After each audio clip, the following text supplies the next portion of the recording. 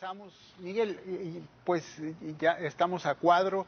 Eh, antes de que pongamos el video del Edén de vida, eh, del simulacro. Formé parte de unos dillitas de, todo el tema, por cierto, muchas gracias a nuestro ayuntamiento, con eh, el que tengas todo al 100% como debe de ser, ¿no? Sí, así es, como, como ustedes saben, estuvimos anunciando ya la apertura de la Casa del Edén de Vida, unas disculpas, lo que pasa es que luego llegó Protección Civil y nos dice, oye, es que le dije, es que todo esto ya lo tenemos. Y me dice, no, no, no, es que tienes que tenerlo, pero además de tenerlo tienes que tener actualizado.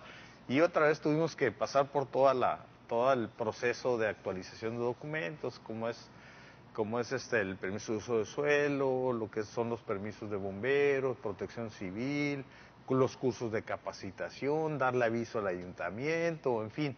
Eh, ya está, el día de ayer se cumplieron prácticamente todos, ya próximamente vamos a notificar a las autoridades de que se cumplió, ya nos van a dar el acta de, capacitación de, bomberos que se llevó a cabo y ahorita la van a ver para que vean que sí hicimos todo en orden, para que estuviéramos en la mejor posibilidad de funcionar y que ustedes en su casita sepan que si llevan una persona ahí, pues la van a llevar con persona que está perfectamente capacitada para saber qué hacer en los momentos adecuados. Sismo, incendio y eh, algunas personas malintencionadas, en fin, todo eso.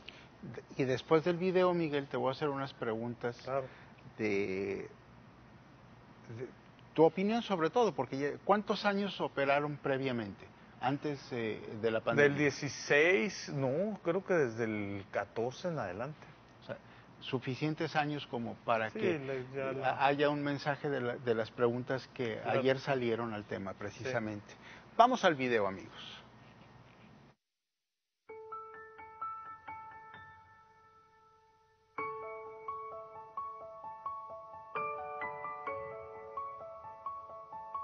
Coloquen una cuarta persona para aplicar un suero intravenoso y empezar a aplicar medicamentos como la secuencia avanzada que es usar adrenalina y otras sustancias que se utilizan en el ciclo, en el ciclo de la reanimación avanzada, que es más o menos esto. Llega la ambulancia o algo así, y todo eso porque ustedes se van organizando. Ahorita lo que estamos haciendo es organizarnos. Eh, el cafete también es importante. ¿Tienen ustedes un cafete o algo así? Porque es chico, ¿no? En, en los lugares donde es más grande sí se ve eso. Aquí está. Simulacro, simulacro. Simulacro, simulacro, a ver. A ver, ¿qué se A ver la respiración artificial. Quedó más lastimado.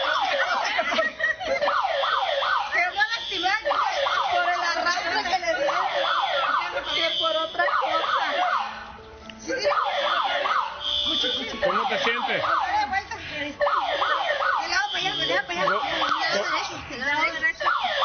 ¿Cómo te sientes? Porque ya tengo la carne.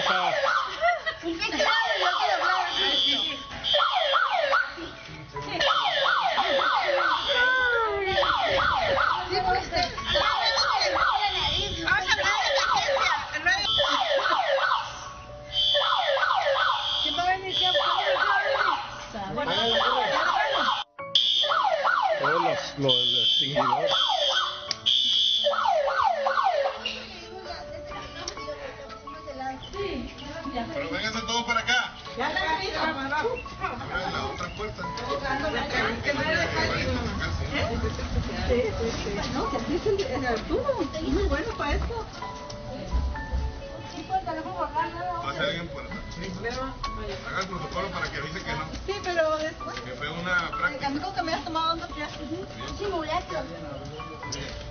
Esto también nos ayuda a saber el tiempo de respuesta del servicio de alarmas nos ayuda a escuchar el sistema de alertamiento porque no estamos familiarizados, no nos atrevemos a activarlo y no conocemos el sistema de alertamiento.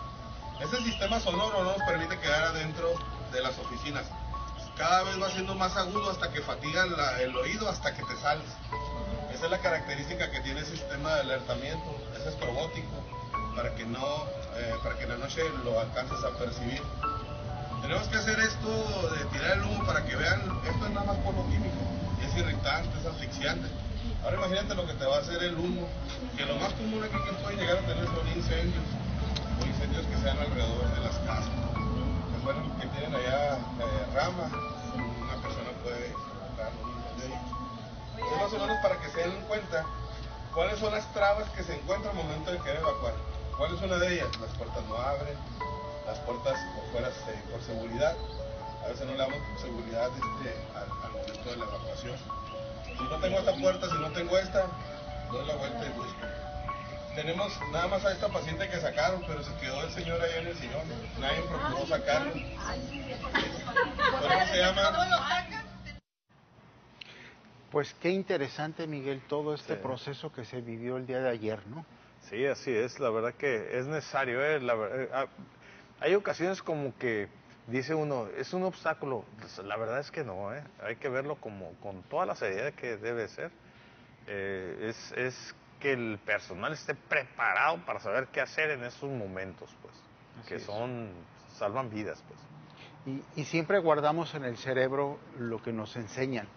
Aparentemente el hecho de que nosotros no lo hagamos, pero al momento en que llega a suceder algo, claro, Claro, que te claro. viene a la mente todo esto que Un vivimos. sismo, saber qué hacer, cómo Sí. moverse, por dónde salir inmediatamente, abrir puertas y vámonos, ¿no? Eh, oye, Miguel, y, y volviendo al tema de la apertura, por ejemplo, ayer eh, fui a una reunión y en la reunión salía el tema de si solamente personas que tienen altos ingresos pueden ir a una casa de retiro. Estamos trabajando mucho en eso porque hay un equilibrio, tiene que haber un equilibrio en, en- en el ingreso respecto a los gastos, pues, porque hay, hay muchos gastos eh, inherentes. Eh, hay que, ten- te digo, hay que tener una persona que, que conozca 24 horas. enfermero, 24 horas, tres turnos. Eh, si, si tienen un volumen de X personas, pues ya tienen que ser tres personas por turno. Hay que tener un, un médico. Nosotros, eh, la idea es que esté un médico esté checándolos un- por lo menos una vez a la semana para saber que están todos en orden. Hay que estar llevándoles el alimento de acuerdo a, a cada persona, de acuerdo a su dieta que haya recomendado el médico. Hay que estar suministrando los medicamentos eh, eh, de acuerdo a como se nos dice la familia o recomendados por un médico. Entonces, hay muchas cosas que hay que tomar en cuenta. No es sencillo. Lo que sí es, es que eh, lo que sí hemos valorado es cuánto costaría una persona cuando tú lo tienes en casa, sí, que tienes tres turnos de enfermería, que son alrededor de dos mil y pico de pesos por turno, por, por semana. Entonces vas sacando cuentas y dices, ay, güey, sí, sí es, sí es elevado el costo. Entonces, vale la pena tenerlos ahí, es mucho más económico. Ojalá que, que, que, no fuera así, ¿no? Eh, y que pudieran ustedes con todo, pues qué bueno, ¿no? Pero sabemos que hay muchas personas que no pueden y entre la familia se ayudan a salir adelante.